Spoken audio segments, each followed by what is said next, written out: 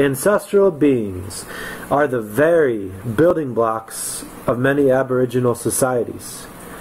They come in many shapes, sizes, and forms. They could be the spirit of a dead loved one, the forefathers of a nation, or even animal spirit beings. Others become guardian angels and are passed into the individuals before birth. Some ancestral beings are direct descendant relatives, while others date back to the creation of the world itself. Some cultures enshrine their ancestors in art, statues, and even use their very bodies, bones, hair, ashes, relics. In Madagascar, ancestral beings are honored in a ceremony called Famadihana, where they cover the dead in beautiful silk garments and celebrate the funeral as a festival. Young girls even take pieces of the dead ancestors' garments as a good luck charm to help increase pregnancy there. This is very similar to how the Catholic Church would keep relics of the saints.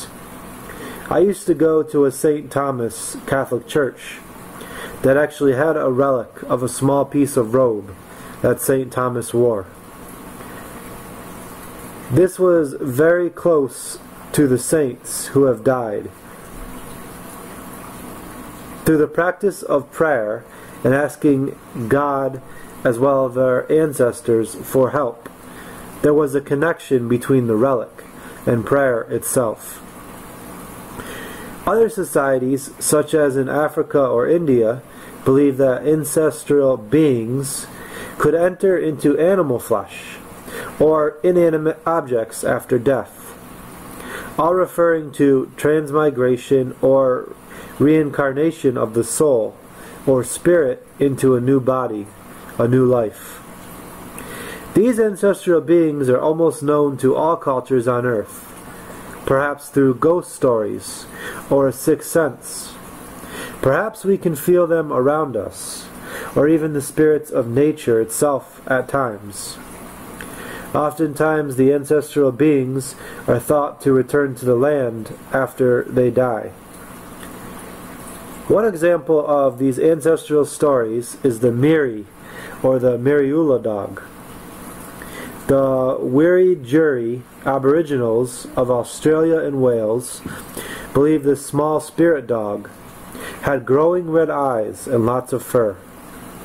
It would often come out right out of the water as the sun was going down. There are many stories of the Miri dog following people home at night, only to disappear when they got home. Other tales of the Miri dog described it in a more scarier feeling as a bigger dog that would appear and disappear right in front of them.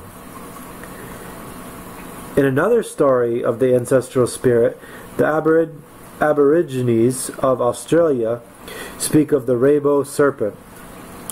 Perhaps to a Christian, this may refer to worshipping Satan, or the deceiver in the Garden of Eden who caused mankind to fall. However, to the Australian Aborigine, this story speaks of the serpent as an ancestral being who created life itself, who gives life, who takes life, and even blesses people. The Aboriginals of Australia believe the rainbow serpent is moving from one watering hole to another when a rainbow is in the sky. Either way, from the believable to the unbelievable, these stories of ancestral beings are a story of the circle of life, the circle of death, a connection to the dead, a connection to our ancestors, to angels, to the mystery of life and where we are going. One of the most famous paintings from the turn of the 20th century was Paul Gauguin's piece, Where Do We Come From? What Are We? Where Are We Going? Like all Aboriginal art, this speaks directly about a circle of life. This piece is speaking of creation, living in the present, and the future, including death itself. This piece alone was painted on a heavy sackcloth, an image that is reference to ancestry and the daily life of the Tahiti people. Gauguin, a French Catholic artist and explorer, even stated himself that this painting not only surpassed all of his past paintings, but also will be his best ever, with nothing like it. This painting was so deep and passionate to Gauguin that it is believed he went into the mountains shortly after and attempted to end his life in Van Gogh like fashion. This painting has so many subtle hints reflecting the mystery of life and death itself. Like a language that should be read backwards, Gauguin left instructions that the painting should be looked at left to right, starting at a baby and ending at an old woman itself. Gauguin even wrote about the painting. The people within it appear to be floating in space itself.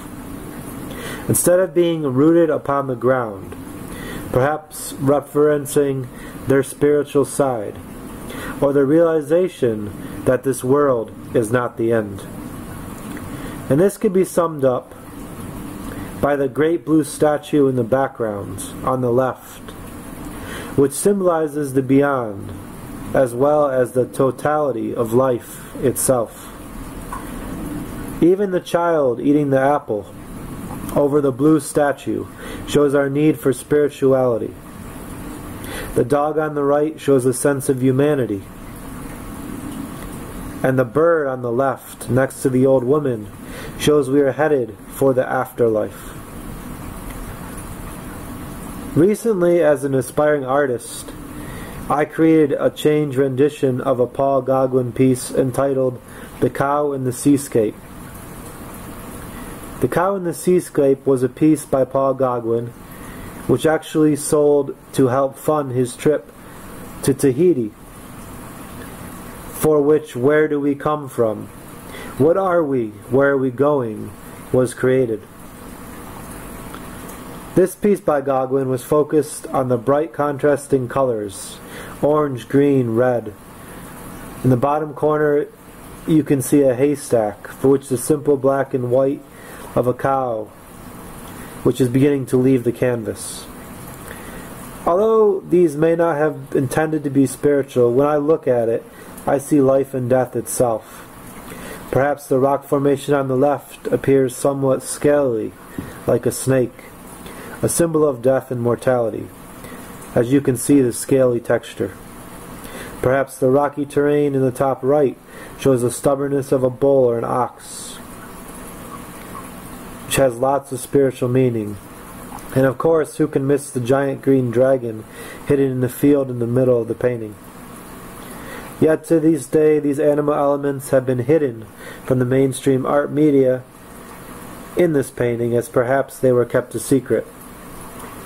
In my rendition, I bought upon some of the same textures, same spiritual essences that Gauguin was referencing in his work and a very bright and colorful piece. While it keeps the simple landscape headed into the background, it is full of hidden, hidden animal meanings and shows some of the life and death in the same sense of Gauguin's seascape with the cow. I view the bright reddish orange haystack more of a shepherd in the bottom right as the Good Shepherd Jesus giving life to his church. There are numerous hidden birds, some with crowns, a squirrel, three horses on the left, one has a heart nose, an elephant sits above them, a ram whose horn takes the place of Gauguin's boat. Perhaps you can even find the Aborigine blowing brown smoke hidden in the ram on the right. Gauguin's seascape piece, as well as my tribute rendition, and who are we, and where are we going, ask the same question in a poetic form. Who are we? Where do we come from? Where are we headed? This figure is called a Yipwon. It comes from the Karawari people of New Guinea. This is a very interesting piece because of the whole story behind it. It talks about spirits called the Yipwon, who were a creation of the sun itself. The sun came down to the earth looking to carve a musical drum.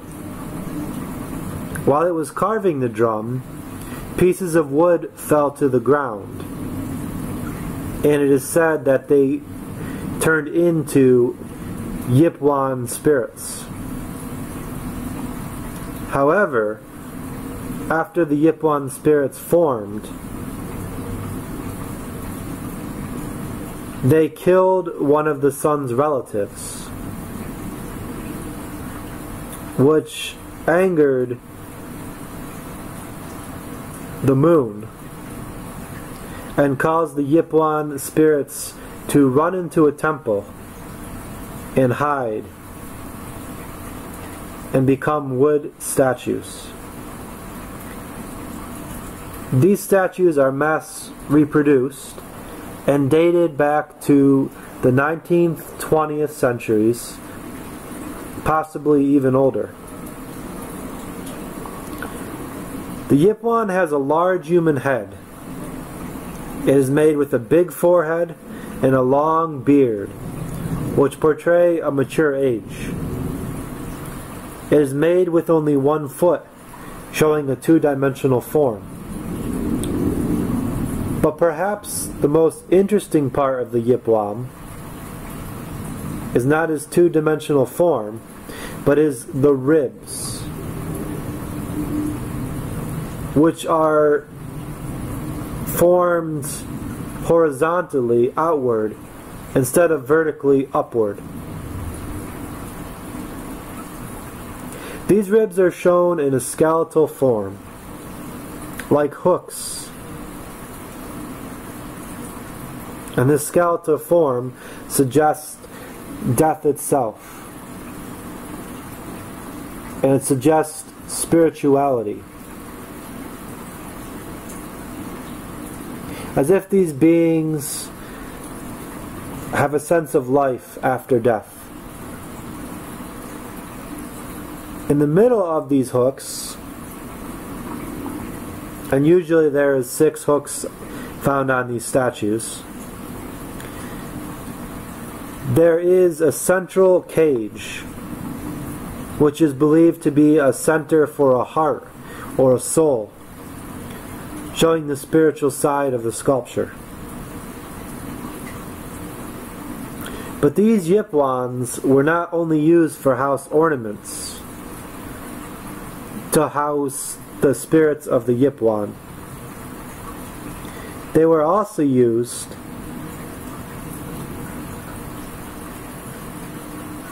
to invoke the Yipwon spirits for hunting. Although it may not be physical evidence, the Yimam cultures, the Karawari of Papua New Guinea, would turn to the Yipwon for endurance and strength before going to battle or hunting. Selected leaders would perform ceremonies to stir up the spirit in the sculpture. It is said the Yipwon spirit would then possess one of the hunters and speak to let the tribe know if it was pleased with its hunting plans. If the spirit was pleased, it is believed the Yipwon would travel to the village that the Karawari were going to raid and kill the spirits of their enemies making the bodies easier to kill in war. After a raid, the Karawari would rub the blood and body parts of the enemies and the animals they killed on the statue as an offering to appease the Yipwon spirits.